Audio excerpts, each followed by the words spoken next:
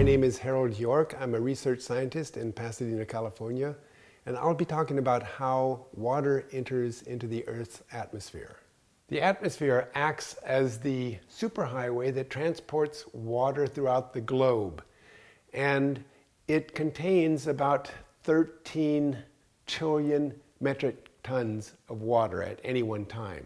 That may sound like a lot, but if it were to all come out of the atmosphere onto the surface of the earth, it would cover the earth about an inch deep. And as a matter of fact, it's only one one thousandth of 1% of the total water on the earth.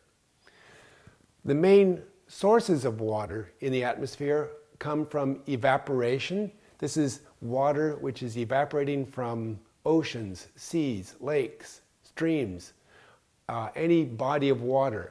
That's 90% of the uh, Earth's atmosphere. 10% uh, comes from transpiration. This is the water that uh, plants give off uh, when they do their, go through their chemical processes. Also, uh, when I breathe, I contribute a little bit of water into the atmosphere. As a matter of fact, a large oak tree transpires about 40,000 gallons of water per year.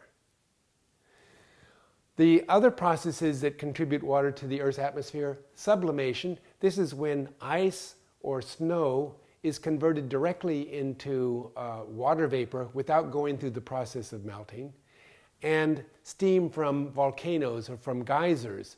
These are negligible sources of water. Uh, the principal sources are evaporation, and transpiration. So these are the ways that water enters into the Earth's atmosphere. I hope you enjoyed watching. Thank you.